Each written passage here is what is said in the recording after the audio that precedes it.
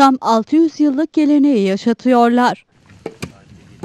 Görüntüler Sakarya'nın Pamukova ilçesine bağlı Akçakaya köyünden. Buğday bunu ekeriz, biçeriz, getiririz, kaynatırız. Kaynatırız. Getiririz bu dübek deriz biz buna.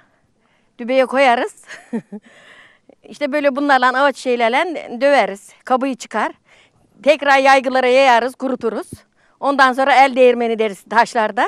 Çekeriz. Bulgur olur. Köylüler dibek taşında tokmakla buğday dövme geleneğini sürdürüyorlar. Bundan bulgur olur, aşurelik olur işte. Onu yaparız. Bunu biz e, doğduğumuzdan, büyüdüğümüzden, atadan, dededen kalma bu gelenek böyle gidiyor. Dibek derler. Dibek. Makinede bu randımanı alamayız. Biz bunu bir daha elden geçir. Organik olmasının sebebi bu. Makinede belki bunun kabını ilaçla soyuyorlar. Biz ilaç kullanmıyoruz ki. Biz kabuğunu suyla böyle attırıyoruz, ıslatıyoruz. Tabii tabii bayanlar ayrı. Bayanlar yorulur, erkekler geçer.